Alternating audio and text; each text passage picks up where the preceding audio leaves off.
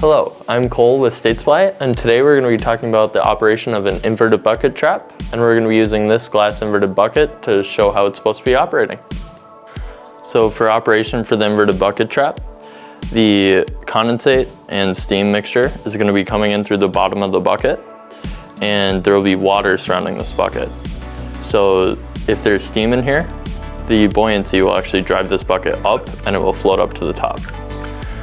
The seal we can see here, there's this part that the bucket's attached to, and when the bucket's pushed up against the top, this little ball will be pushed against the orifice, and that will create the seal.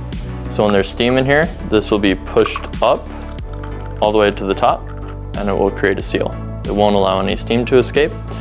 And then once the steam inside condenses, the bucket will drop and then the pressure will drive the condensate out of the trap. Here we have another look at the inverted bucket trap. So again, the steam comes in over here through the bottom and the water around the outside of the bucket will allow the bucket to float if there's steam inside because it's less buoyant. So it will go up and it will seal right there. So it will operate cyclically when steam and condensate are coming in. For an inverted steam trap to operate properly, you need what's known as a prime. The prime is water sitting inside of the body of the trap before it sees steam. Right now we have water right about here, but the top of the bucket's right about here, and we would actually want probably water towards the top of the bucket to create the prime we're looking for.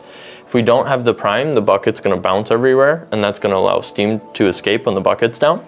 So I'll demonstrate that right now.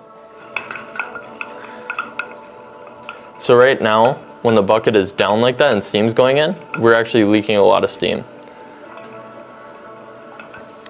So I'm gonna shut the steam off here. And then I'm going to inject water. So I'm gonna try to bring the water level from about here to above the bucket.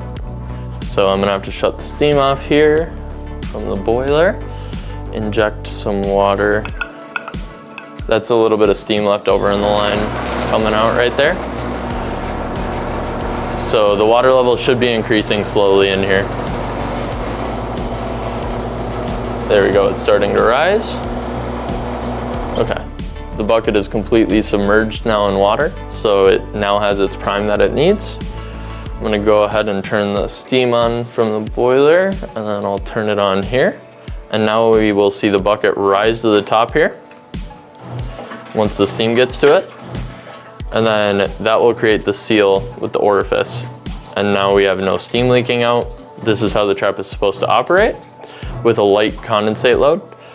Once we put a little bit of condensate load on it, like this, the trap will begin to cycle.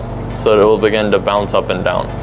And you can actually hear the trap doing this if the load is big enough um, with like an ultrasonic device, for instance. But this is what you want to see and what you want your inverted bucket traps to be able to do. Thank you for watching. If you found this video helpful, like and subscribe. We'll be posting more content soon.